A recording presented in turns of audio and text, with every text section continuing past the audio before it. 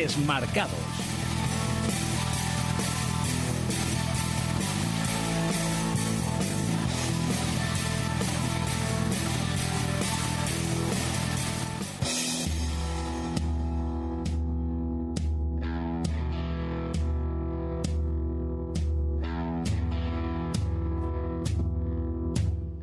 ¿Qué tal? De nuevo, saludos a todos. eh, bienvenidos eh, a quienes se incorporen ahora a esta retransmisión del Desmarque Live. eh, son las 12 y 10.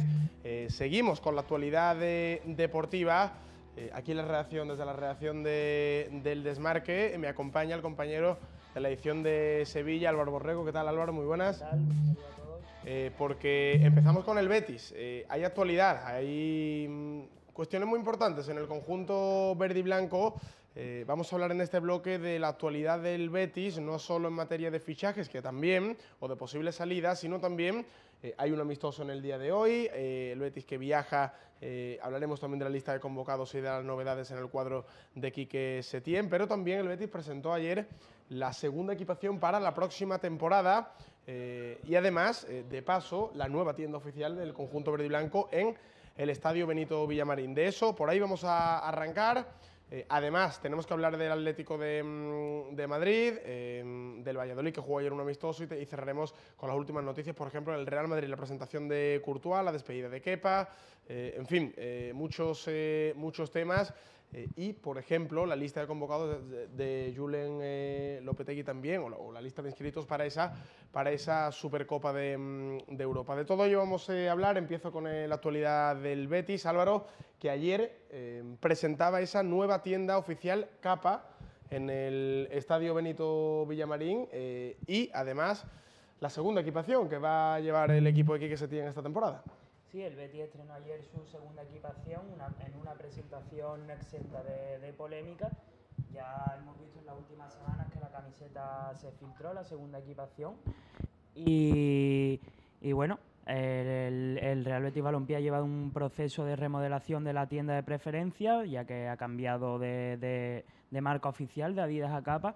Y bueno, una segunda equipación que no ha gustado a todo el mundo, una segunda equipación quizá algo impropia para lo que venimos acostumbrando en los últimos años, donde el Betis ha tenido esa, esa segunda equipación con un color verde oscuro, pero más lisa. Y bueno, una equipación que no ha gustado a los aficionados y yo no la veo propia para lo que, para lo que el aficionado bético está acostumbrado a ver en los últimos años. Sí, eh, hay disparidad de, de opiniones al, al respecto eh, sobre la nueva equipación del, del Betis, como, como comentábamos. Eh, en fin, hay gente a la que le gusta, gente a la que no. En cualquier caso, el diseño eh, eh, como novedad principal, bueno, sobre todo el, eh, el color. eh, un poco más oscuro, ¿no? Eh, Sí, y, luego, y luego los, los detalles de, de esa silueta del escudo del Betis, eh, muchas siluetas a lo largo de toda la, de toda la camiseta. Sí, tiene esa, bueno, esos detalles con la silueta del escudo del Betis, con tonalidades, distintas tonalidades en verde y el escudo que, que es dorado, algo que, que, bueno, que ya eso sí están acostumbrados los béticos, que en otras, en otras equipaciones han visto como el escudo del, de, de la entidad bien era en, en verde más oscuro, como en la camiseta amarilla de la tercera equipación del año pasado.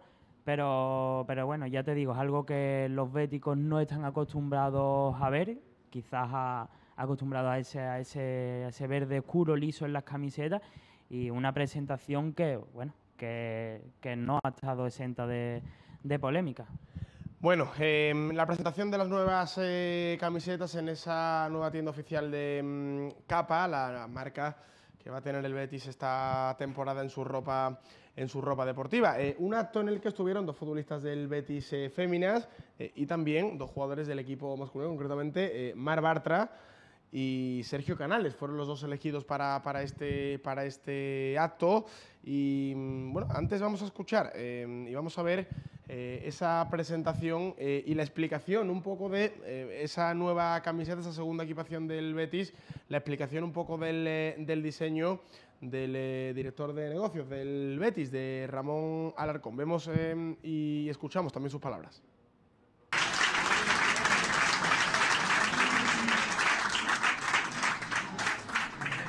La unión de Capa y el Betis siempre es muy, muy exitosa y estamos aquí para presentar la segunda equipación. Una equipación verde con tonos dorados, esa unión que siempre ha existido exitosa ¿no? entre Capa y el Real Betis Balompié. Sí, correcto. Es, bueno, eh, primero le queríamos verde, eso para empezar, pero luego queríamos representar realmente lo que son las peñas, es decir, que es una camiseta que ha sido diseñada propiamente para, para las peñas. ¿vale? Entonces hay, hay, dos temas. El primero es, eh, bueno, veis todos los pequeños triángulos que salen de, del escudo, que salen del corazón de la camiseta.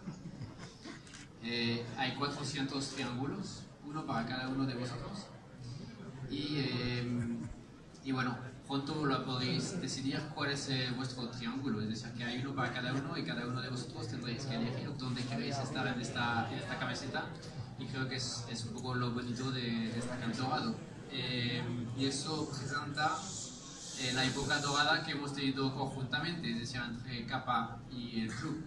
Y bueno, hemos querido dar un pequeño guiño a esta camiseta, además del tema de, la, de las peñas. Así que esperamos que os guste. Antes que nada, agradecer la presencia tanto de medios gráficos como de las peñas, una tarde calurosa de agosto.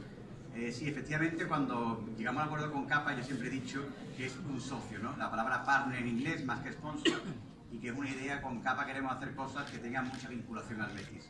Entonces, los diseños de las camisetas hemos intentado que tengan un porqué. Entonces, creemos que este año la primera equipación, que es una equipación, no una camiseta, tiene mucha personalidad, y en esta segunda queríamos expresar algo. ¿no? Eh, esta segunda equipación, en inglés dice away, y la equipación de jugar fuera. ¿no? Entonces, cuando jugamos fuera, queremos llevar a los béticos, en este caso a las peñas, con nosotros. Por eso en esta equipación hemos hecho del corazón, del corazón del Betis y del escudo, salen esos triángulos que a su vez también representan el corazón de los béticos, que serán las peñas, que ellas son las que engloban a todos los béticos, que irán con el equipo, lo acompañarán cuando juegue fuera el Villamarín y serán ese, ese último aliento que nos consiga dar victorias. ¿no? Entonces ese es el motivo de, de este diseño. Además, luego está el tema dorado, que lo hicimos, bueno, cuando se hacen los diseños que se hacen en antelación, no sabíamos que la, la, temporada iba a ser tan exitosa, ¿no? Pero sí es verdad que Capa rememora a los años de más éxito del Real Betis, a los años recientes de éxito. ¿no? De hecho, en esta tienda hemos también personalizado con, en todas las, paredes con fotos de los jugadores que han vestido Capa, y si vemos imágenes, pues a todos nos llegarán al recuerdo grandes momentos vividos por la entidad. Las explicaciones sobre la nueva equipación, sobre esa segunda equipación del, del Betis para esta temporada y los motivos para ese diseño. Eh, ¿Qué le parece esa nueva equipación, por ejemplo, a Mar Bartra, una de las principales eh, estrellas del, del, Betis, fichado en el pasado mercado de invierno y uno de los jugadores pues, eh, más emblemáticos de la plantilla y más solicitado también para este tipo de actos? Mar Bartra. Bueno, cuando haces, llevas haciendo bien las cosas, el siguiente año aún te exige más, ¿no? Y en ese sentido, pues creo que va a ser un año eh, muy exigente que a la vez ilusionante. Y yo creo que, que entre todos, la, unión que hay en, todo el equipo, con los compañeros también que han llegado nuevos, eh, creo que nos hemos reforzado muy bien para, para poder competir en un año que será exigente, muy exigente seguro y también ilusionante. Las palabras de Mar eh, Bartra, el eh, central del conjunto verde y blanco, el otro gran protagonista en el acto era Sergio Canales, fichaje de este mismo mercado de verano, uno de los jugadores también que se presupone eh, va a tener mucha participación y va a ser importante. Le preguntaban a Canales por su llegada y por las primeras sensaciones, y esto decía. El vestuario pues es una familia, como siempre se, ve desde fuera, y bueno, la verdad que la acogida sido increíble, tanto por parte de, de todo el vestuario como parte de la afición, estoy con muchas ganas, eh, estoy muy ilusionado porque viendo un poco la plantilla, eh, los jugadores y, bueno, eh, cómo están haciendo las cosas, estamos con muchísimas ganas e ilusión y, espero y deseo que sea una temporada muy ilusionante para todos, que disfrutemos todos en el campo y, bueno, la verdad que es una gozada. El poder salir al campo, el estadio y imaginarlo lleno, pues ya se te pone la, la piel de gallina. Bueno, eso ocurría en el día de, de, ayer, en la tarde de ayer en la tienda situada en el Estadio Benito Villamarín, acto oficial del, del Betis. Eh, para el día de hoy tenemos amistosos, tenemos amistosos y además eh, ayer también se conocía esa lista de convocados para, para el amistoso. Sí, el, el Betis juega a las ocho y media en tierra italiana ante el recién ascendido Frosinone. Quique Setién ha anunciado este jueves la lista de 22 futbolistas que han viajado a tierras italianas en una lista no exenta de de donde hay varias, varias novedades destacadas, como la baja de, de Cristian Tello, que sufrió un golpe, un golpe en la espalda en la concentración británica y ayer se sometió a una operación de cirugía menor. Joaquín también se retiró del entrenamiento de ayer en Monte Castillo y también es baja por, por, por precaución. Y que Setién ha tomado la decisión de solo llevar a dos porteros, siendo Joel Roble y el canterano Dani Rebollo los que viajan, por lo que Pablo López es otra de, de las bajas en la expedición, en un partido donde se podrán ver los primeros minutos del central Sydney, que ha viajado por primera vez eh, con el equipo y ha estado en la concentración de esta semana en Los Monte principales Castillo. atractivos del partido es ver también a Sidney ya en acción, ¿no? Tienen ganas los béticos de ver al ex central del Deportivo. Sí, se podrán ver los primeros minutos y a quien no podremos ver es a Alex Alegría y a Narváez, que se han vuelto a quedar en casa a expensas de resolver ese futuro que, bueno, ya lo hemos contado en, en el desmarque varias ocasiones, el futuro de, de Alex Alegría se debate entre el Sporting de Gijón y el Rayo Vallecano. El futbolista quiere jugar en primera, pero el Rayo tiene más alternativas, de ahí a que este, el Rayo no tiene prisa por cerrar la operación.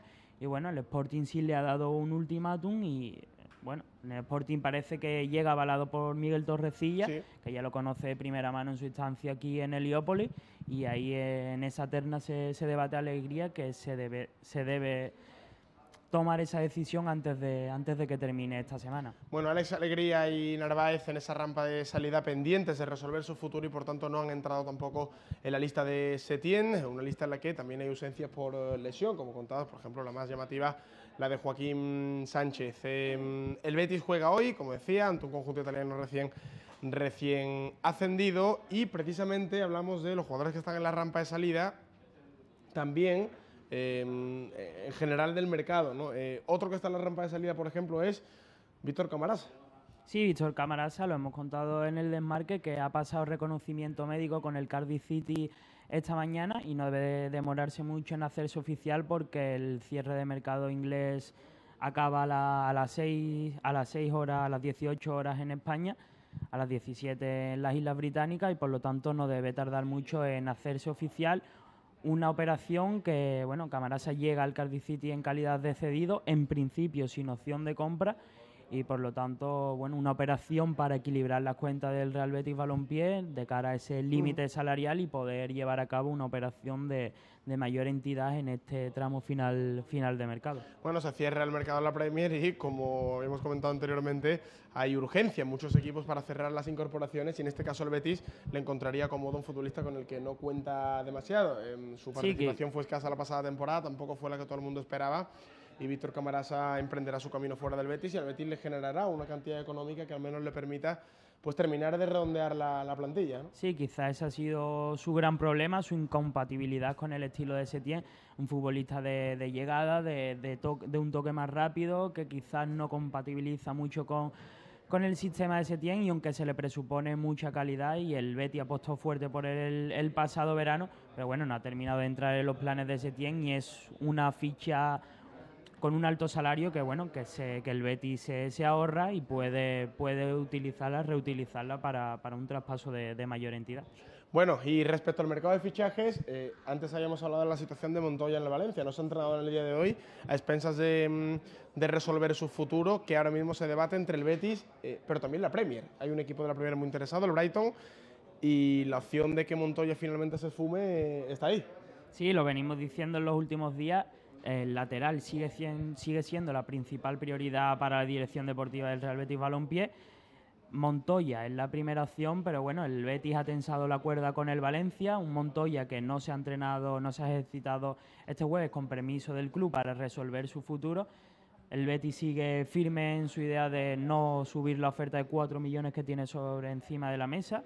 El Valencia no está dispuesto a salir, no, estaba dispuesto a dejarlo salir por menos de 8, pero quizás por 6 podía llegar a un acuerdo con el Real Betis Balompié, pero la Premier, lo hemos visto, la Premier manda en este mercado y el Brighton es uno de los últimos interesados y bueno, aunque Montoya ya le comunicó al propio entrenador, a Marcelino, su deseo de, de marcharse al Real Betis, eh, la Premier no es un mal destino para Montoya, bueno, veremos hasta las 18 horas, hay tiempo para, para resolver. Bueno, eh, y todavía pueden pasar muchas cosas. ¿Algo más respecto a la actualidad del Betis? Bueno, respecto a la segunda opción que maneja el Betis para ese lateral, puede ser Kevin Mbabu del Young Boy suizo, eh, al que le han salido nuevos competidores. Estaba el Girondin de Burdeos, también en la Premier, otros equipos, ya que él jugó hace dos temporadas en el Newcastle. Y el Red Bull Leipzig ha sido el último en unirse a la puja, en el Betis, que bueno, le presentó una oferta que rondaba los 6-7 millones de euros pero de momento Martín Montoya sigue siendo la prioridad y a la espera de a la espera de que resuelva su futuro podría reactivar esa segunda operación. Y la operación Sanabria que de momento sigue negociando el Betis con la Roma para la compra de ese 40% del jugador y, bueno, em, de momento dijo López Catalán que esta temporada Sanabria iba a seguir en el Betis. Sí, el vicepresidente del Betis declaró en, en una radio italiana que bueno, que el futuro de Sanabria estaba en Heliópolis que confiaban en él, en su proyección y que quieren que triunfe aquí y ahí es donde están intentando ahora comprar ese 50% de, del pase a la Roma para tener al jugador en su propiedad y poder recibir unos emolumentos mayores en caso de que se concrete su salida en un, en un futuro. Gracias Álvaro. Gracias a ustedes. La actualidad del Betis. Eh, del Betis pasamos al Atlético de Madrid porque en el conjunto rojiblanco ya saben que se incorporaron no a la concentración, sino a los entrenamientos en, Madrid tanto eh, Antoine Grisman como Lucas Hernández, los dos últimos eh, flamantes campeones del mundo. A Griezmann eh, ya le veíamos y le escuchamos hablar a su llegada a Madrid. Eh, Lucas Hernández lo ha hecho ahora para los medios oficiales del conjunto rojo y blanco y al parecer, pues bueno, está muy contento con el esfuerzo que está haciendo el club en confeccionar una plantilla lo más potente posible. ¿Esto opina Lucas Hernández? La verdad que, que muy feliz, eh, creo que no se puede pedir más a, una temporada. a nivel del club, pues ese trofeo, esa Europa League con con el Atleti eh, fue una venda al, pastel que, hicimos, ese pedazo de temporada que, hemos hecho y luego pues eh, con la selección, la verdad que, ser campeón del mundo es un orgullo y la verdad que todavía no nos damos cuenta de, lo que hemos conseguido, yo creo, pero bueno, eh, la verdad que, muy feliz y, muy contento de, esta temporada que, ha venido y deseando empezar esta nueva temporada. Les veo bien en los partidos que, han jugado, la verdad que que un gran equipo eh, con, muchas ganas de, que empiece la competición y dentro de nada empieza el partido oficial contra, contra el Madrid en la Supercopa y esperemos eh, estar al máximo. es verdad que, anteriormente tenía el 19, pero a raíz de ser campeón del mundo creo que, que todo el mundo pues, eh, me ha visto jugar con, con ese dorsal y, y, quiero seguir evolucionando y, y mejorando con, con, ese número. creo que que me ha dado, mucha suerte, eh, todo el mundo me ha visto con, ese número y espero que aquí en el, club pues, eh, todo el mundo me siga, me, y, me vea con, ese número que para mí es un, un, número muy importante eh, porque ha sido con el que me he proclamado campeón del mundo. Se han hecho muchos esfuerzos para que se queden grandes jugadores, están haciendo un, gran esfuerzo para, hacer un gran grupo, tenemos un grandísimo grupo pero sabemos que que nuestro camino es ir paso a paso y, sin salirnos de, ese, camino. Eh, creo que si, si nos salimos de ahí estaremos equivocados y, el único camino es el, ir paso a paso. Bueno, las eh, palabras de Lucas, del jugador del Atlético de Madrid, flamante campeón del mundo, lo cierto es que eh, el club está haciendo esfuerzos y la plantilla que le está quedando al Atlético de Madrid es em, espectacular. ¿no? Eh, Lemar, eh, Gelson Martí, la continuidad de Grisman, eh, Diego Costa, veremos si Kalinic, que está a punto de concretarse, la continuidad también de Jan Black, de los centrales, Godín, Jiménez, en fin, un auténtico plantillón. y en el llega ahora Angélica Molina. Angélica, ¿qué tal de nuevo? Para contar las eh, últimas eh, noticias. Por ejemplo, hablamos del Real Madrid, que busca también hacer la mejor plantilla posible y eh, a partir de la una del mediodía será la rueda de prensa de presentación de Courtois. Pero además hay más noticias relativas al conjunto blanco y concretamente a la, Supercopa de Europa contra el, contra el Atlético de, Madrid, precisamente. Sí, bueno, y es que ya se ha hecho oficial la lista provisional de los 33 jugadores que formarán esa plantilla ¿no? y jugarán la Supercopa y Julen Lopetegui contará hasta el miércoles para poder hacer cambios en ella y en esta lista pues no se encuentra Courtois, pero sí se encuentra Kovacic. El, miércoles, día 15, que es el día en el que se juega la Supercopa de, Europa, eh, no se encuentra... No se encuentra Courtois dentro de esa, de esa lista, eh, sí Kovacic, eh, evidentemente ya no forma parte, de, no forma parte del, del Real Madrid. Em, lista provisional, lista de jugadores eh, inscritos, también con presencia de canteranos. Eh, Fede Valverde, por ejemplo, es otro de los que está dentro de esa, de esa lista, un futbolista que ha eh, maravillado durante la pretemporada al ex seleccionador eh, nacional. Así que, bueno, em, lista de convocados para la Supercopa de, Europa. Cuéntame más noticias de última hora. Bueno, pues Lucas Pérez ya tiene su destino, a pesar de los rumores que lo situaban en la Serie A o en Portugal. Finalmente se quedará en Londres para vestir la camiseta del West Ham. Y es que el Arsenal ha firmado el traspaso del jugador eh, por 5 millones de libras que rodean los 6 millones de euros, Chema. Bueno, eh, era un futbolista que pertenecía al Arsenal, a pesar de que la pasada temporada estuvo cedido en el Real Club Deportivo de La Coruña eh, y evidentemente no, entraba en los planes de Unai Emery para, para esta temporada en el conjunto Gunner y en este caso el que se hace con sus servicios es el West Ham, que buscaba delanteros. De hecho, em, está pendiente también de concretarse la operación por Maxi Gómez, el delantero del Celta por el que va a, eh, va a desembolsar la cláusula de rescisión el West Ham, pero no contentos con ello, pues también se hacen con los servicios de Lucas Pérez, del atacante que la pasada temporada militó en el, en el Deport, cedido por el Arsenal. Sí, y ha firmado por tres años con opción a cuatro. Y hay que decir que esta mañana bueno, ya se ha entrenado con su nuevo equipo y ha sido uno de sus compañeros, ex compañeros del Arsenal, lo que, el que lo ha hecho oficial. ¿no? Me parece que estamos viendo las imágenes. Sí, efectivamente. Eh, Lucas eh, Pérez, como decimos, Empezó en el Arsenal la pasada temporada, luego llegó cedido al Deportivo de La Coruña y ahora ficha por el West Ham. Eh, tenemos más noticias, eh, por ejemplo, eh, que tienen que ver con Kepa, porque ha aprovechado, no fue a Lezama, no fue a Lezama a despedirse de sus compañeros. Bueno, entendió que era una situación delicada y que había muchas, mucha gente que no estaba muy de acuerdo con, con esa decisión de Kepa de marcharse pero sí lo ha hecho Angélica y lo estamos viendo ahora mismo aquí a través de un comunicado en las redes sociales. Sí, bueno, como ya sabemos, pues Kepa está en Londres, sustituye a Courtois en el Chelsea y ha querido despedirse del Atlético con una carta en la que ha difundido en euskera y también en castellano y en la que solamente tenía palabras de agradecimiento para el club y para los aficionados. Bueno, ayer decíamos que, mm, en fin, eh, Kepa evidentemente agradece a, todo el mundo. No es tan cariñosa la carta que, de despedida del, eh, o el anuncio ¿no? oficial del, del Athletic Club que leíamos en el, en el día de ayer en el que bueno, se resaltaba un poco ¿no? que, el objetivo del club es seguir trabajando para que los, eh, los más pequeños de Lezama, eh, su máxima aspiración sea jugar en el primer equipo del Athletic y no eh, marcharse a otro, a otro lado. En este caso, bueno, mm, un palo implícito a, a Kepa. y es que no, no, ha gustado demasiado esa decisión del, del cancerbero internacional con la selección española, pero así se han dado las cosas y Kepa que será jugador del Chelsea para las siete próximas temporadas. Una auténtica barbaridad del portero más caro de la historia del fútbol y el futbolista español también que ha protagonizado un, traspaso de, mayor cantidad económica. ¿Algo más? Por mi parte nada más, Chema. Bueno, pues em, así llega la actualidad. Eh, con estas eh, noticias cerramos el segundo bloque informativo. A partir de la una del mediodía, en solo media horita, eh, el tercer, el tercer eh, live desde los estudios del Desmarque Radio.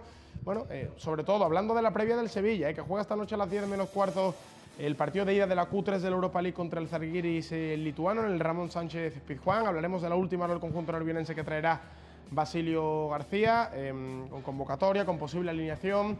Eh, y también con movimientos, porque no respecto al mercado de fichajes con el nombre eh, del delantero. Veremos quién finalmente es el que refuerza la delantera del conjunto nervionense. Y, por supuesto, vamos a repasar también los amistosos del día de ayer. Jugó el Valladolid, jugó el Zaragoza, jugó el Deportivo, jugó el Oviedo. En fin, unos con más suerte que, que otros y también escucharemos y veremos las declaraciones de todos los protagonistas. Enseguida, dentro de media horita, ¿quién les desmarque live? Hasta ahora. Desmarcados.